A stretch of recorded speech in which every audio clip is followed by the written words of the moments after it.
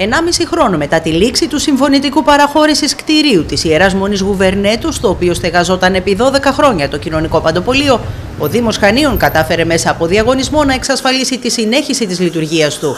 Η τελευταία παράταση από τη Μονή έληξε τον Νοέμβριο, αλλά ταυτόχρονα ολοκληρώθηκε η διαδικασία μίσθωσης νέου κτηρίου στη συμβολή των οδών Γρηγορίου Πέμπτου και Σφακιανάκη.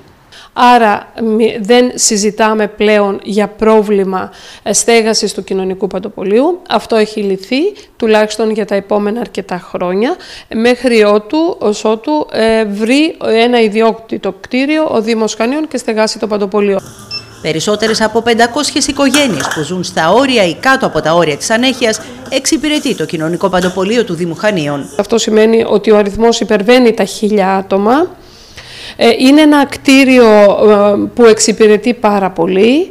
Ε, είναι επίσης μέσα στο κέντρο των Χανίων, δεν είναι μακριά από την ήδη υπάρχουσα θέση του και νομίζω ότι όλα θα πάνε πάρα πολύ καλά γιατί ο χώρος είναι πολύ μεγαλύτερος, άρα θα γίνεται και καλύτερη εξυπηρέτηση.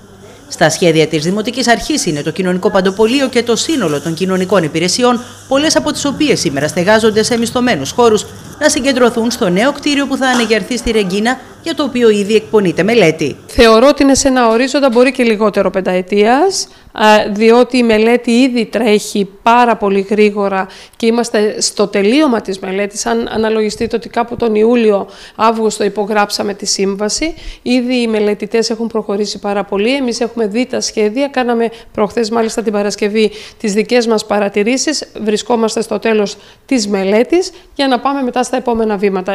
Οι ωφελούμενοι είναι άνθρωποι εγγεγραμμένοι στα Μητρώα της Πρόνοιας με χαμηλά εισοδήματα, ενώ σύμφωνα με την κοινωνική υπηρεσία ο αριθμός όσων καταφεύγουν στο κοινωνικό παντοπολείο αυξάνεται χρόνο με το χρόνο.